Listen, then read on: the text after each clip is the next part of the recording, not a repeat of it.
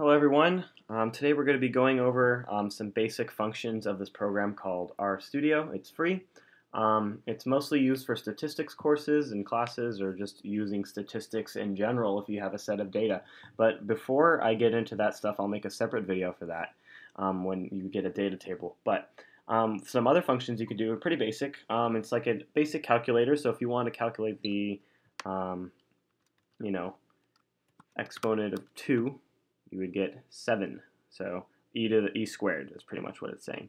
Um, now you can also do log functions, 5 plus 8 or something, and you get that.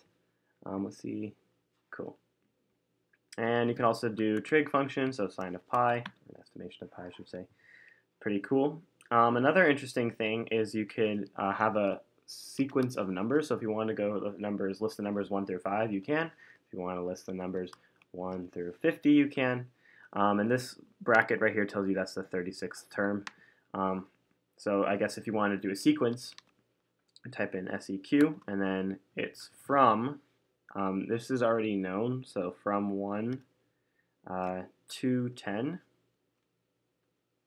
So like if I just want to do something like that, and you would say I want to do every other number, it would be by 2. Um, I believe you might be able to do if you just do 1 comma 10 comma 2. Yeah, it's the same thing. So it knows um, this program, I, you know, the coordinates that you input, I guess you could say, um, it knows that it says from this to that and by how much. Um, so that's what those mean. And another cool thing you can do is you can create histograms. Um, so if you want to do the histogram of cars, for example, um, you could plug in a really cool you know, code and do all that. So here's one of them. Here's one thing we can do.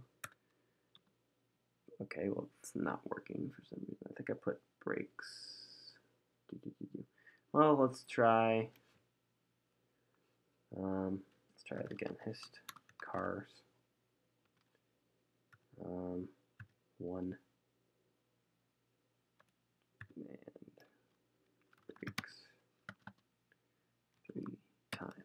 1 to 9.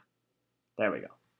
Here it is. Um, so here's just a basic histogram thing. I'm kind of new to figuring out how the histograms work. There's another way to do it. I'll get to that on when showing data sets.